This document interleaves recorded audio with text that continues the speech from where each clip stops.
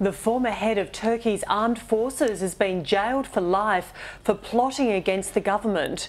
General Ilker Basbug was among dozens convicted for their involvement in a conspiracy to oust the Prime Minister Tayyip Erdogan. The sentencing has provoked protests from supporters in Istanbul who've labelled the process a show trial orchestrated by Erdogan.